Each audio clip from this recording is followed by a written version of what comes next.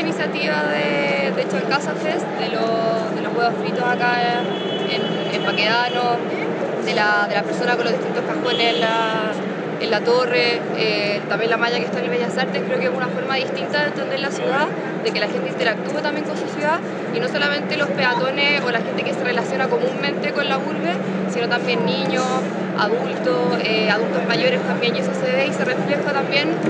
en la gente, en el público que está aprovechando las instalaciones. Eh, ojalá existieran instancias de este tipo más allá y no solamente a través de iniciativas privadas,